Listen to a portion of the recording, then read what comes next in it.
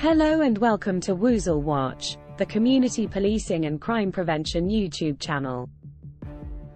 Today, we're going to discuss a common problem that many people face, which is cold calling. We'll talk about what cold calling is, how it can be a nuisance, and most importantly, what steps you can take to prevent it from occurring. Firstly, what is cold calling or nuisance calls? Cold calling is a marketing strategy, where a company or individual reaches out to potential customers, who have not expressed interest in their products or services. The caller may be a telemarketer, a sales representative, or even a charity seeking donations. Cold calls are usually made by phone, but they can also come through email, or in-person visits. Why is cold calling a nuisance? Cold calling can be a nuisance for several reasons.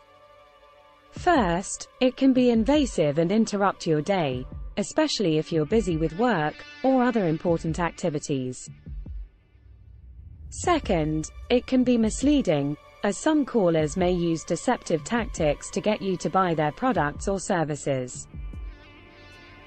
Finally, it can be a waste of time, as many cold calls are irrelevant to your needs or interests.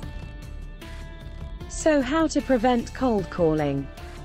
Fortunately, there are several steps you can take to prevent cold calling. Here are some of the most effective strategies. Register with the Telephone Preference Service, TPS, or equivalent if you are not from the United Kingdom. In the US, this is the US Federal Trade Commission, do not call list. The TPS is a free service that allows you to opt out of receiving unsolicited sales and marketing calls. Once you register your phone number with the TPS, it becomes illegal for telemarketers to call you without your consent. You can register online or by calling their helpline. I'll leave a link in the comments below. Be cautious with your personal information. Be careful when sharing your personal information online or over the phone. Avoid giving out your phone number, email address, or home address unless it's necessary. If you do need to provide your details, make sure you understand how they will be used, and who will have access to them. Don't answer calls from unknown numbers, especially if your phone marks it as spam. If you receive a call from an unknown number, let it go to voicemail. If the caller doesn't leave a message, it's likely a cold call. If they do leave a message, listen to it carefully before deciding whether to call back or not. Install a call blocking app. There are several call blocking apps available for smartphones that can help you filter out unwanted calls.